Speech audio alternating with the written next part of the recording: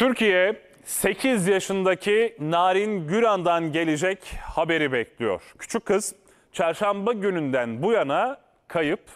Kur'an kursundan evine dönerken Diyarbakır'da ortadan kaybolmuştu. Narin onu arama çalışmaları devam ediyor ama küçük kızın kaybolduğu yerden yaklaşık 20 metre mesafedeki kayalıklar üzerinde kan izleri tespit edildi. Tabi soruşturma derinlemesine devam ediyor.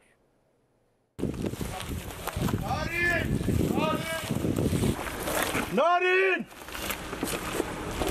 Bir yanda jandarma, diğer yandan kurtarma ekipleri herkes seferber olmuş durumda.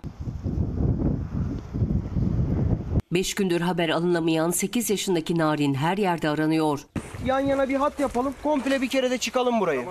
gören, duyan Allah peygamber için bize bir haber versin. Diyarbakır Bağlar'a bağlı Tavşantepe mahallesinde yaşayan Narin Güran, çarşamba günü Kur'an kursundan çıkmış, kuzenleriyle eve dönüyordu. Son görüntüsü de bu oldu. E, AFAD aracının bulduğu, bulunduğu patika yoldan e, yukarı doğru evlerinin olduğu yöne doğru ilerliyor. Kuzenlerinden ayrıldığı noktayla evi arasında sadece 100 metrelik mesafe vardı. Ne olduysa o arada oldu.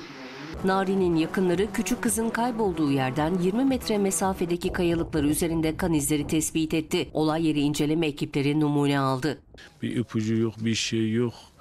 Sanki yer yarıldı içine girdi. Küçük kıza ulaşabilmek için arama çalışmalarında bugüne dek kilometrelerce karelik alan didik didik arandı. Polis helikopteri de arama çalışmalarına havadan destek verdi.